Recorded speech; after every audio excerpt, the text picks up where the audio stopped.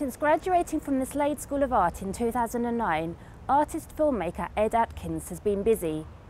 He was selected for New Contemporaries and shortlisted for the Jarman Award. He is co-curated at the ICA, being commissioned by Frieze Film and Channel 4, and had a solo show at Tate Britain. We spoke to him about his current exhibition at the Serpentine Sackler Gallery. So, X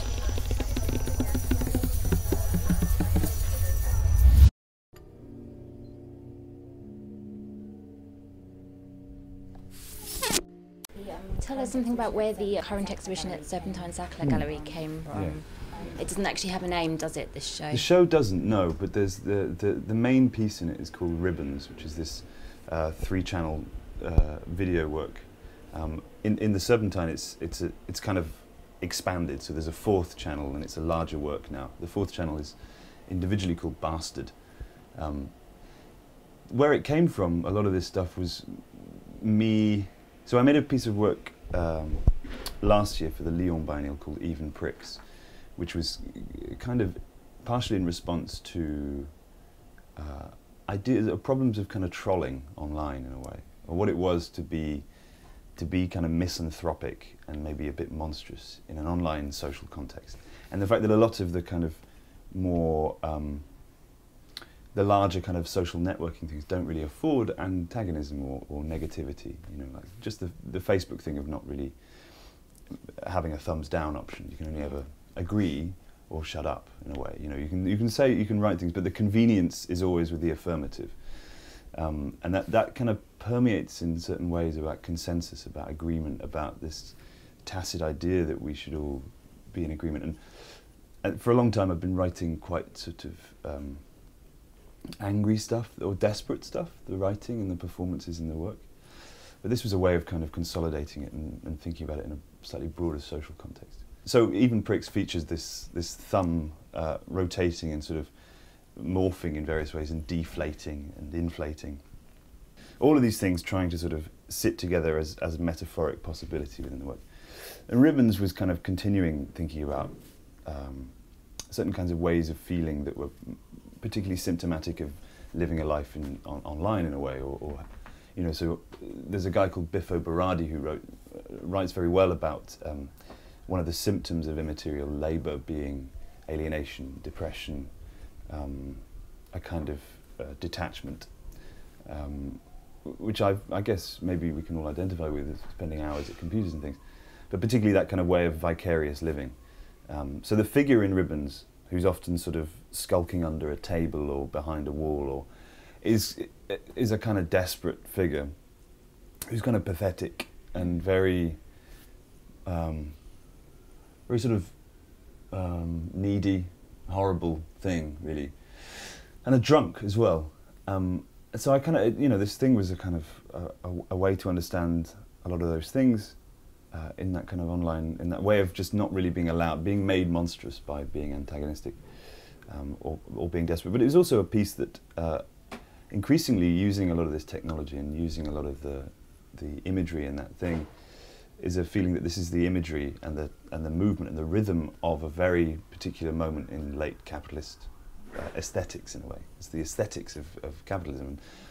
And there was a way of thinking, sort of almost thinking that ribbons would be like this almost toxic performance of those kinds of aesthetics. And obviously the, the protagonist, the protagonist of capitalism is a, is a white Western man, you know, that, that, that's the figure we know is the site of power. So this figure had to be this thing. Uh, obviously I'm that as well. So there's a lot of uh, convening of kind of uh, difficult ways of understanding your, yourself through these models, uh, models literally but also figuratively. Yeah. Is the avatar based on you in any way? Well, it's uh, not. Uh, so the, the the way that they're made is this performance capture thing. So I'll sit in front of the laptop with a Kinect camera. There's one. Actually, it's not a Kinect. It's this, this Prime Sense thing, but it's a motion capture thing. So I, I'll, I'll um, uh, perform in front of it, and it will record the 3D map of my face, and then that that gets put onto so and then so for the, for the recent one for ribbons, um, uh, he's gone on to this this particular model who's called Dave. You can buy him. You know, he's he's quite expensive, but he's like an off the shelf thing, which I've then done all this sort of doodling on his on his skin and stuff. These reminders and these little horrible things. Um, I mean, so much of it is actually flat planes. A lot of it is building up of of images um, in After Effects and in Premiere. You know, so really the final image that you end up with is, is so far removed from its constitutive elements. So the, the animation stuff or the CG stuff is just one layer. And then uh, pushing and pulling between depths of field, so there's also sort of dust on the fake lens and there's uh, uh, lens flares and then there's a background and then in front of that there's probably some shadows and so on and so forth. So this it's, you end up with a sort of, on the timelines of these things, it's like a, a, a, a cake and then rendering that out, yeah. But usually it's uh, from top to bottom. It's like a, a writing and, and and sort of pulling in lots of citation and sort of things that I'm kind of hanging on to in terms of phrase and images and stuff. I guess this is kind of normal, and then you're putting them together in folders and things, and then drawing out very roughly like how a scene might sort of look. Yeah, I've never, I've always tried to keep notebooks and real things, you know, but it's never really worked out. I tend to kind of plunge straight in because you can occasionally, I mean, so when I'm communicating with the guy that, that, that helps with all the animation stuff, uh, I have to draw out stuff for him. So there's these kind of slightly shitty storyboards that that um, um, that happen. I mean, this is for a new piece that, that's being made, but but they're kind of they're they're just expedient ways of communicating something, um, rather than anything in and of themselves. Writing similarly, I've, I've kind of, I think I get a sort of wrist strain when I try and write with my like handwriting now. Like everything is straight away typed. Actually, I've been doing these drawings on the iPad just to see what that's like. that's been kind of, in fact, uh, yes, actually. So all of the drawings and the doodles all over his body were are vectors done on the on the iPad. So they're kind of, you know, nothing eludes the the the process of digitization really in the work, I guess. Yeah. Yeah, so it is I mean it's technically my movements, my face, my voice. But he is much more um, importantly kind of generic. Mm-hmm. But generic according to what, you know, the presumption of, of a kind of every person. Obviously he's kind of a buff, horrible thing. Um, yeah, so it, it is me, but it, it's also like the work necessarily has a lot of biographical flavour to it, but it's not. It's nothing, nowhere near as sort of straightforward as being autobiographical sure. in some way. Guess, Do you yeah. think he's an accurate representation of 21st century youth as a? Not, not. I mean, yeah. I mean, I would never presume to know what that was, and he's too. I mean, I, I hope not in a way because he's he's kind of he's desperate and horrified and and horrible. Um, but I, there are definitely things in there that I kind of want to be able to speak of for not for anyone, but as myself and my own res responses to these things. Um, and a lot of masochistic, guilty behaviour, a lot of a kind of attempt almost to get past guilt without naming it as such in a way. So there's a lot of responsibility that I feel in the making of the work, which isn't necessarily there in, in people's apprehension of it, I suppose. You know. It's also quite an empty character, if that's not a no, yeah. in terms. Uh, uh, do you think his acts of drinking and smoking are, and shouting as yeah. well are perhaps attempts to fill this void? Yeah, I mean, I've never, I've never really thought of him as, as a character. You know, he's not fleshed out as a. He doesn't have a story. He doesn't have any narrative, really, possibility outside of the, the situations he's in. He's much more of a cipher, really, mm-hmm. for, for a desire or an incoherent kind of, you know, the the, the need to speak to exist, but the um, not knowing what to say and how to say it.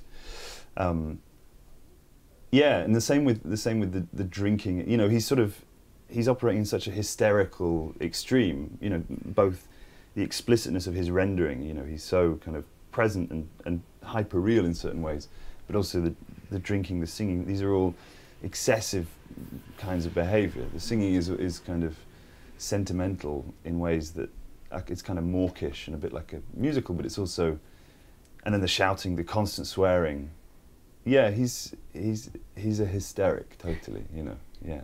And you've mentioned the words pathetic and horrible, and yeah. I was going to ask whether we ought to be feeling sympathy with him, empathy for him? I think a bit of everything, really. You know, like I think, I mean, he's so, and I think the work generally generally uh, demands empathy very aggressively, Mm. um, and in a way that I think some of the things that it, that the work does for me, I kind of hope to be, for it to be quite. Um,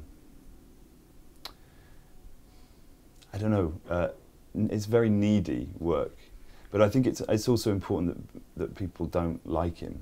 That, well, it's not important that, but they understand that he's a, a brute and he's a kind of a symbol of uh, violence and brutality in a way, in, self-inflicted and then externally. So you know, so he's part of a historical thing, and, and the, the the fact that the songs are this kind of history of um, sort of male wallowing in songs. You know, like the the Purcell round, which is a drinking song for men in a pub about women and madness and love, um, is part of the same lineage that with the Randy Newman song about love and depression and you know melancholy, and the, even Erbarme dich, which is you know like is is this sort of strange plea of someone who's guilty, you know, and guilty of what? I think the uh, the ambiguity of guilt and the locus of guilt for in the work is important for me to not be resolved, but it, but to be performed in a way. So is it pathos or bathos or both? Ah, it's both, definitely. I mean, I think the the bathetic thing. Actually, it was only through talking with Mike Sperlinger, who who wrote an essay in the, in the book that accompanies the show uh, about bathos in my writing, that, I, that that stuff really started to appear as kind of one of the fundaments of the work. So even in the edit, in the rhythm, there's a lot of plunging between poles, a lot of kind of uh, almost sort of movements towards the sublime and towards a kind of romanticism and a uh, beautif- beauty or something, and intoxication, only to be sort of cut and foreshortened in, a, in an instant, you know, or with a fart or with a burp or something. You know, there's kind of uh, also the detumescing of things, so the head deflating, the kind of flaccid cock, and all of these things that are very um, the lowliest of the low in a way, in terms of kind of uh, literally, like gravitationally, but also as a kind of the failure of something or, or something kind of being retarded by its own excessive hubris or something, you know. I was going to ask about the interruptions actually. Are, Yeah. are they carefully orchestrated? Uh, they, they become that. They're often much more sort of, you know, what it is to to read as you write, in a way, um, is you know when to drop in a comma or a full stop, or you know when to not do it, and that that will become a uh, a deliberate kind of destructive or an interruptive thing. So it doesn't. So often, oftentimes, I, I, I feel like the work is predicated upon people's general fluency in, in moving image, TV, cinema, video games, whatever. People know how to read them. Uh, genre, they know how to read some generic things, and they know how to feel when a piece of music in a certain key is played over an image. People know how to feel, but I think that fluency affords such a great kind of tension when you do break it, when you interrupt it, or you say, eh, eh, oh, "Fuck that," you know, you sweep it away. So um, they're often kind of in response to reading the thing and, and while I'm making it, but then going back and sort of playing with that edit so that it's it's exactly the right way of interrupting something, you know. Yeah. And how and at what stage did you add the text in to the film? Uh, f- from the beginning, from the beginning. Um, yeah, I mean, uh, there's a, there's a there's a longer text that exists uh, where all of the, the text is sort of sourced from. Um, uh, it's often a, it's a matter of just snipping it right down, and also often kind of decohering it at various points. is like uh, increasingly not really wanting anyone to finish being able to say anything, you know. So he's often sort of caught midway through. The protagonist in the in the video is often sort of caught midway through, trying to explain something or sort of delving too deep into some sort of theoretical lexicon, you know, some pathetic sort of uh, rambling in a way. Um, but then at the same time, he he's often disappointed by that, so starts swearing at you or something, you know, or having another drink. Because for a long time, I've been trying trying to sort of have text sit well within video, but not as a not as a addendum in a way, in the same way that you know, like so subtitles are not really uh, understood as part of the film. They're kind of added. But I always wanted text and language to be uh, implicit. Because I think there's a lot, there's a pervasiveness of um, you know technology remystifying our relationship to matter and to other bodies. You know, so not really ever thinking about the the bodies that are traumatized in a mine somewhere when they're, they're digging up the minerals that go into this or whatever. You know that obviously the the more the design becomes uh, beautiful, becomes opaque to us.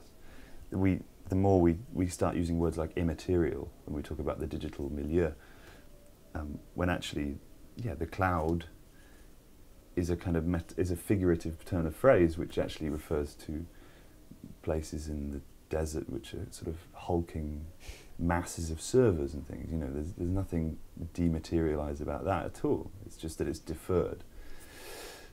And the film has been described as part musical, part horror, and part melodrama. Hmm. Do you think that's accurate?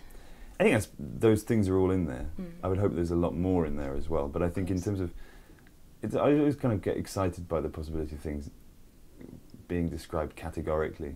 You know, necessarily having to have recourse to saying what something is. And I think a big part of the work is is a kind of belief in not having to say that, and how that's difficult in our in our culture and society is to to allow things to not be determined is difficult to hold on to. But I think it's important because I think actually determining things and categorizing things is, is a kind of violence, really. Often, you know, it's a compromising of something.